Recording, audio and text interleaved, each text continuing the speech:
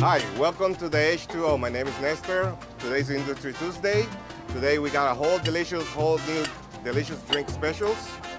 Uh, my favorite one today is the Hurricane, and this is how we make it. Get a 16 ounce cup, fill it up with ice, add some Pyro rum, 1.5 ounces, two ounces of passion fruit syrup, put some limes, squeeze fresh lime juice,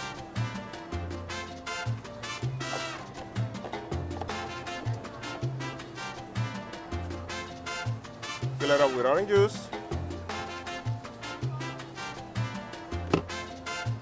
Okay, do a little shake.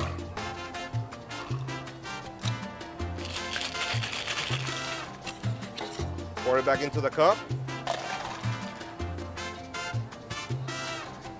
Decorate it with the lime, put a straw in it, and that's your hurricane. Come and visit me this week. I will make you one.